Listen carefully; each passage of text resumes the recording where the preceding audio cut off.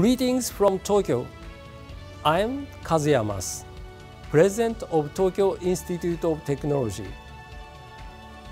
It is a great pleasure for me to congratulate you on the 30th anniversary of National Science and Technology Development Agency.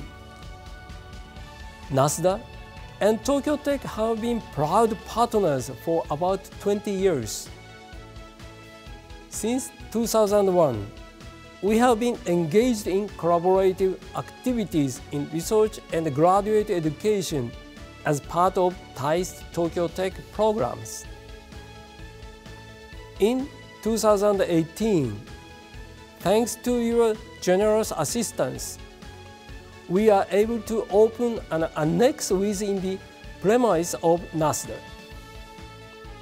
I would like to take this opportunity to extend my sincere gratitude to all members in NSTDA for your continued friendship and support. Kopunk Club and happy birthday, NSTDA!